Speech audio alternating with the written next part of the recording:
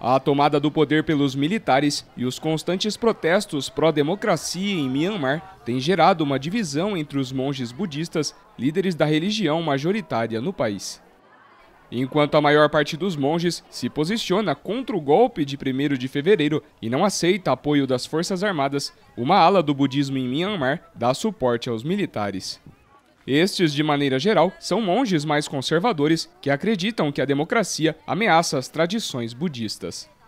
Boa parte, contudo, tem medo dos fardados e há também os ultranacionalistas que fazem campanha contra a minoria muçulmana. 90% dos 54 milhões de habitantes de Myanmar são budistas.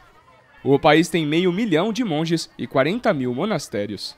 Até agora, a repressão militar aos protestos contra o golpe já deixou ao menos 824 civis mortos e prendeu mais de 5.400 pessoas.